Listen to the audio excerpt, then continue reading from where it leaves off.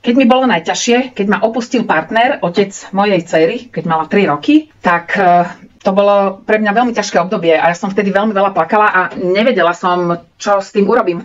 Nevedela som nájsť východisko. A v tom období som našla na internete taký troška iný košík, ako je tento košík z pedigu. Ja som ani to slovo pedik, ja som ho 10 krát opakovala. Pedik, pedik, pedik, že či to je naozaj tak. A ešte som aj niekomu písala na tej stránke, že či sa to naozaj volá pedik. A že áno, volá sa to pedik a pletú sa z toho takéto krásne košiky.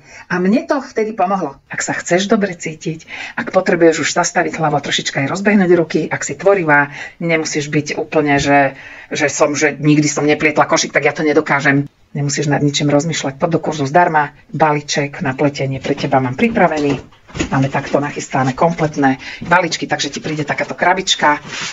A ja sa už na teba v tomto kurze teším. Maj sa krásne do pletenia.